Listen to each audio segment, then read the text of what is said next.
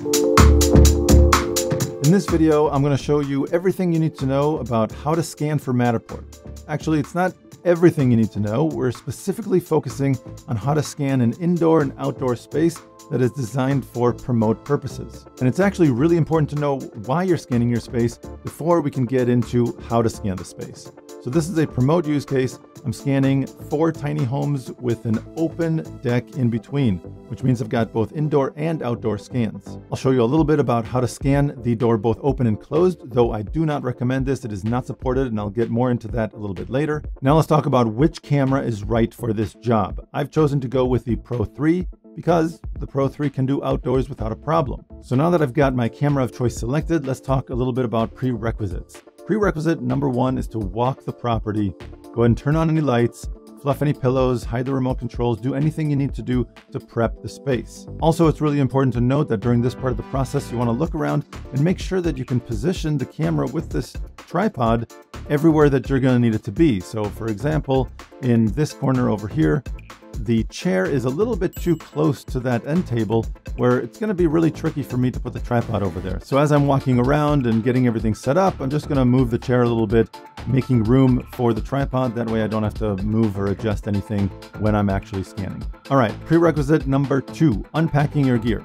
If this is the first time you're setting up the Pro 3, check out the video I've linked to in the corner to know how to set it up on the tripod. And that's really it. Once you've got everything straightened out and ready to get scanned, so you don't have to stop and do anything during the scanning process, you've got your camera set up, you're ready to go. And now with those two prerequisites out of the way, first thing what I want to do, of course, is go into the Matterport app and start a new job. So I'll press new job and I want to provide the address and of course the showcase name is optional but uh, certainly a good idea if you don't want the name to be the address.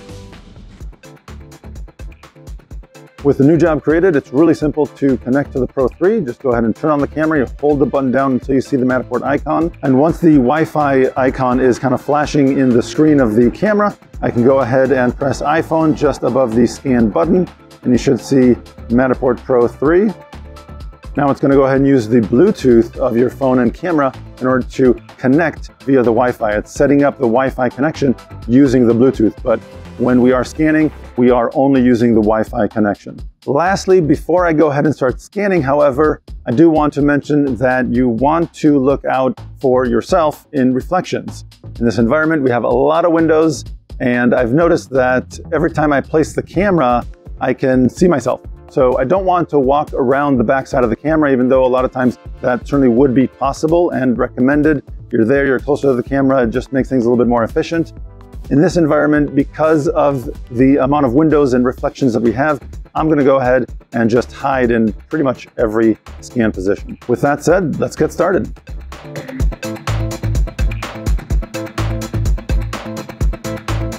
As I'm scanning, I think about navigation and fleshing out the complete 3D model. You can see my path of a line scans is pretty natural. I'm trying to make it so that my visitors have an experience that is as intuitive as possible. And as far as fleshing out the complete 3D model, although the Pro 3 does have great range, you can still see some black spots and dithering underneath the gazebo. I really should have added another scan position closer to the gazebo to make sure that area is fully fleshed out. The last thing anybody wants to do is have to go back on site because they forgot to scan something. I can always hide the scan position if it doesn't add any value or take value away from the visitor's experience. Outdoors, it's really wide open and I don't need to scan only every five to six feet. I can take much bigger steps between scan positions because not everything is so tight as it is inside. So inside, five to six feet, outdoors, it's wide open and you can just go maybe even 30 feet. As a result, you notice that I was able to get this entire deck in only 13 scans, so it all happened very, very quickly. Now, because I've gone all the way from the home at the very end over there and picked up the camera, I've come all the way back here to start my first indoor scan. I think I may have broken the path of alignment. It's hard to say with the Pro 3 because it probably could align between those two scan positions, but just to make sure, I'm gonna go ahead and scan over the same scan position that I've already captured in order to maximize the overlapping scan data to make it as easy as possible to align those two scan positions. Once that's done, I can go ahead and take the camera inside and continue my scan as usual.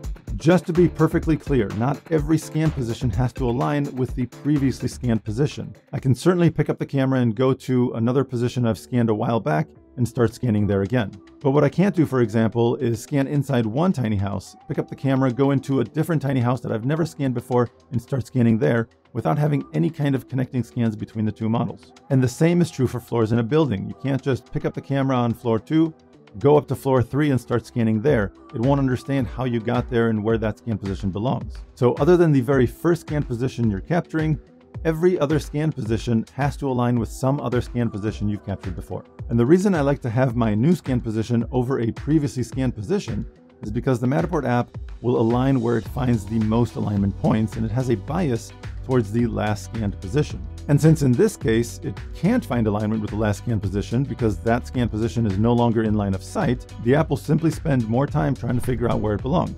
So to make it really, really easy for the app to find as many alignment points as possible and as fast as possible, I really like to have this new scan position as close as I can to a previously scanned position. Of course, after I'm done processing the digital twin, I'm going to hide one of these two scans to simplify navigation. But let's not get ahead of ourselves, that is for another video. On with the scanning.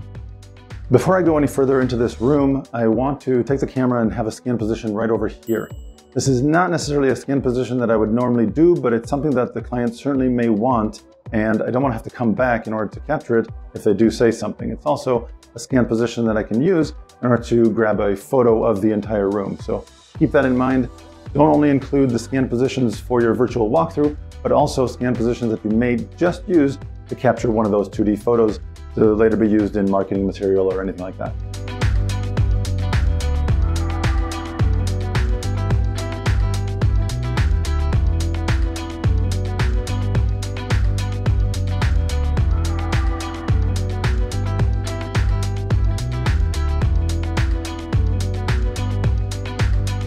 Can see just how tight the space is, and in some instances, you can see how I'm really struggling to get the tripod through doorways and into tight areas.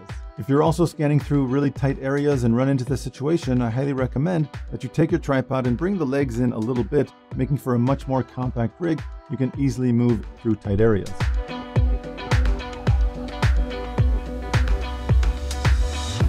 This is a really tight corner, so I want to make sure that I get as many scan positions as possible. Later on, I can decide which of them I want to hide and which of them I want to keep in order to make the navigation experience as smooth and intuitive as possible.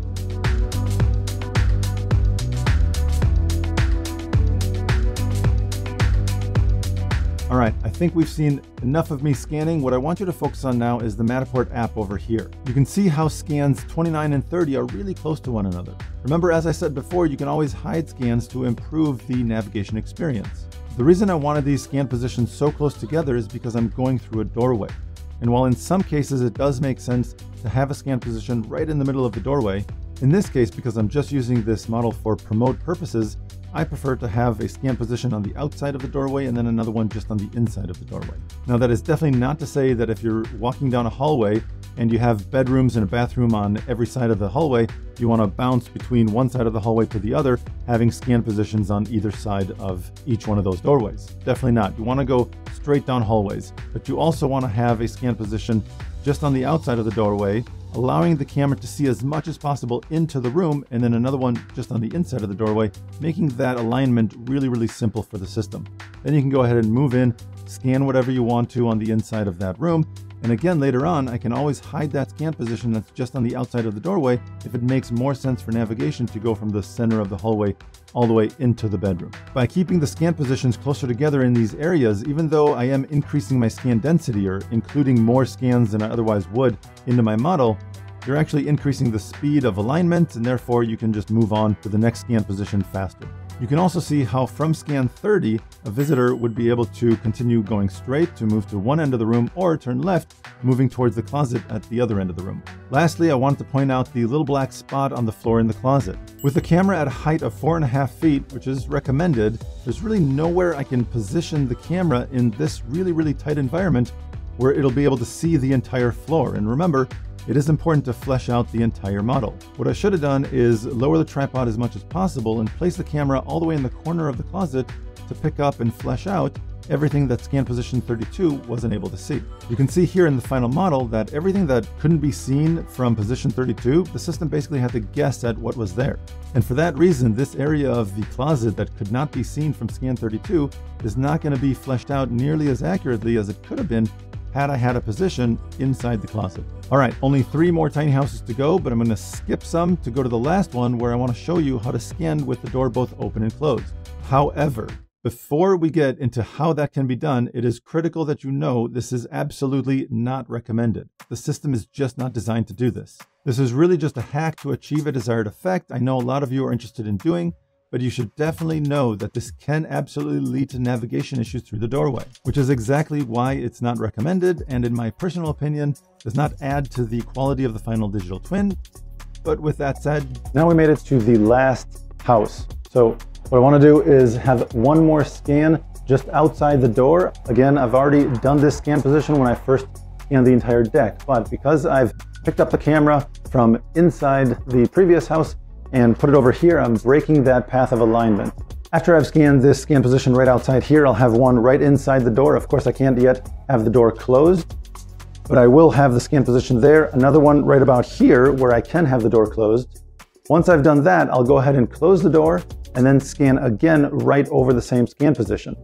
For the same reason as before, because we're changing the environment, I want to make it as easy as possible for the Matterport app to find alignment. So what I don't want to do is change the environment and change the scan position at the same time. So I'll leave the scan position here, change the environment, then I can go ahead and move forward. If I need to recapture this scan position with the door closed, I'll go ahead and back up, scan that again after I've closed the door, and then we can move forward. I'll show you how that looks.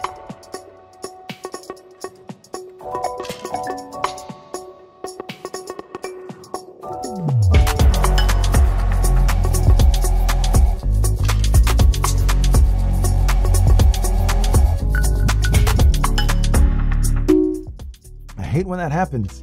If you've ever seen this before, it just means that this new scan position wasn't able to align with any previously scanned position. No worries, I can just open the door back up to how it was and scan another position, this time further into the house. Having the scan position over here was still a little too close to the doorway. When I closed the door, it wasn't able to align because it's just too much of the environment. So what I did was scan again over here. And now hopefully the door is not as significant a part of the environment. The camera is not as close to it, so it will be able to align. I'll go ahead and close the door. I'll scan again with the camera exactly where it's at right now, and hopefully we'll get alignment.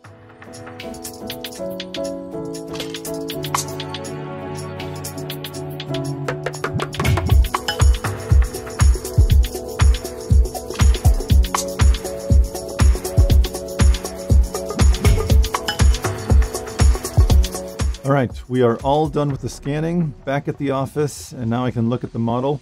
What you want to do is definitely make sure that all of the markings that you may have missed while on site get added at this point before you upload the data. All the mirror markings definitely should have been taken care of while on site. I may have some window markings left and some trim markings that I want to take care of now. How to create these markings, I'm going to leave that for another video, but just so you know, make sure that all your markings are set up. And now all I have to do is just press upload and I'm done. The alignment between all the scan positions has already been done, and the processing engine is going to tweak that a little bit just to kind of refine that. But basically that's it. Creating your digital twin is entirely automated from this point. And that's really all there is to it. Scanning a digital twin is just a matter of understanding what you're going to do with the digital twin after it's been processed to know where you want to place those scan positions for the optimal outcome. I know this was an especially long video and I do apologize for that, but I hope you got something out of it, and we'll see you in the next video.